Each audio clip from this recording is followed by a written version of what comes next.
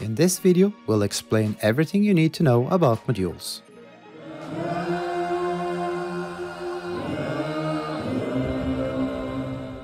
Welcome to our video about Walker modules.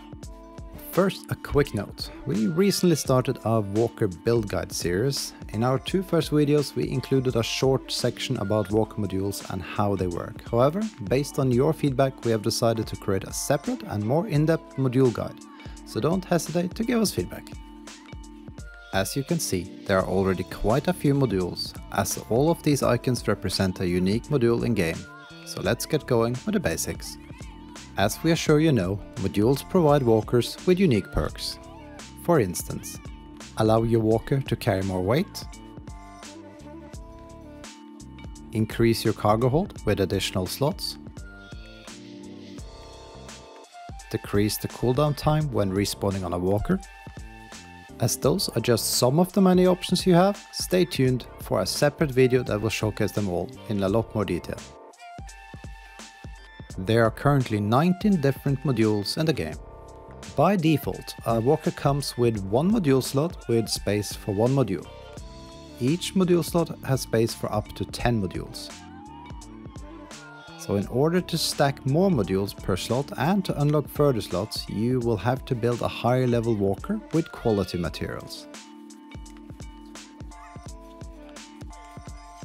Furthermore though, it is possible to also unlock an additional 5 module levels with flots through your walker menu, accessed by pressing P followed by E.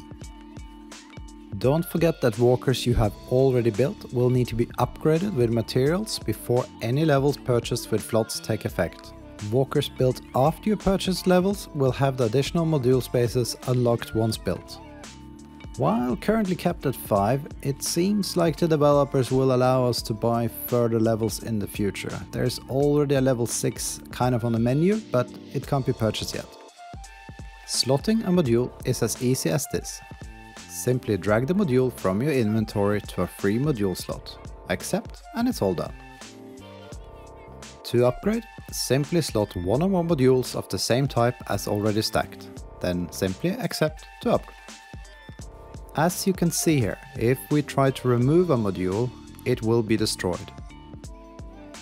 Similarly, if we try to replace an existing module with a different type, the already slotted modules will be destroyed. Each walker level or module level will unlock one additional space for a module, and every 10 levels will unlock an additional module slot. To show you an example, this walker can stack up to 102 modules. We can calculate it as follows. We have one default module space, then we have an additional 96 spaces thanks to our level 96 walker, and finally 5 additional module spaces which we have purchased with flots. Let's talk about how you can obtain modules. Your first option is to obtain modules from chests and packages which typically contain fragments. Usually that will be lootable locations like the ones we're showing you on screen now. Beyond that, there might be modules available at your local trade post, which other nomads have put up for sale. Do consider checking several trade posts before buying and monitor prices over time to ensure that you don't pay too much. Finally, don't forget to check with friends or fellow clan members in case they want to trade. To round this off, a few last facts. Only modules of the same type can be stacked, Replacing or removing a module or module stack will destroy the currently slotted modules. Most modules have a max capacity limit beyond which they don't add any further value to your walker, so do be careful to use your module slots wisely.